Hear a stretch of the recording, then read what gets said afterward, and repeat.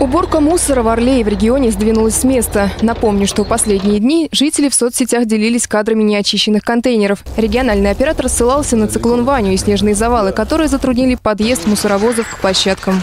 Проблемы с вывозом мусора были обусловлены обильным снегопадом. И в период с 15 по 17 декабря проезд к большей части мест накопления твердых коммунальных отходов был практически невозможен. Дело в том, что мусоровозы и банкеровозы относятся к тяжелой крупногабаритной технике, поэтому основные проблемы касались проезда по внутриквартальным дорогам, дворовым территориям и придомовым территориям. Сейчас ситуация стабилизируется. В течение трех дней мусор будет убран во всех районах областной столицы. Непосредственно сразу после снегопада региональный оператор, получая информацию от перевозчиков, информировал управляющие компании, либо органы местного самоуправления в сельских районах, для которых эта проблематика была гораздо более острой, о необходимости противогололедной обработки подъездных путей и расчистки снежной массы в пределах, прежде всего, дворов. Эта работа привела к необходимому эффекту в последние дни.